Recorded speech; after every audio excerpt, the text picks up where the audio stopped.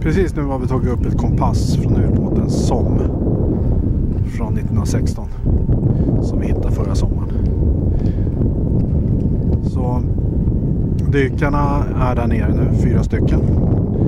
Och för en liten stund sedan skickades det upp en eh, blåsa, en röd blåsa. En ballong kan man kalla det för också. Som eh, då var knutet i kompassen. Som kom upp till ytan. Nu har Peter och Kai precis tagit upp kompassen i båten. Det ska bli väldigt, väldigt intressant att titta på det här historiska föremålet.